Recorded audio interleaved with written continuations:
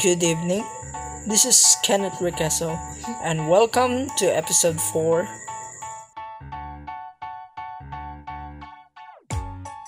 So, let's talk about my medical condition, which is all about autoimmune encephalitis.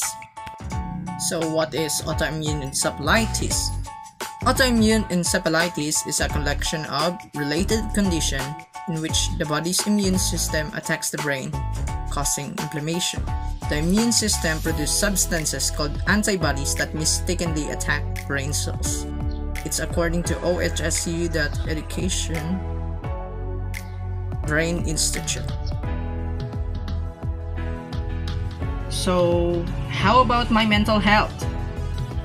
Well, before, without one of my apps that I've installed on my phone, I look sad and very anxious.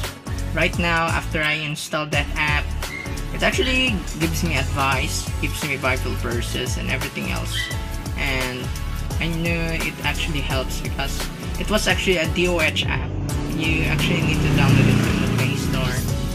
I guess you have a try for that app. So that app was the Lusog Isip app and I knew I actually use it so it was very well known but I knew that I always speak English but I set the app language to Filipino which is very more popular and more localized friendly because we know I actually live in the Philippines.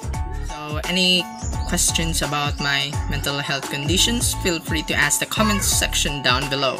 Like and subscribe for more videos and click the notification bell icons to notify what new videos are up. Thank you so much for watching and see you next time.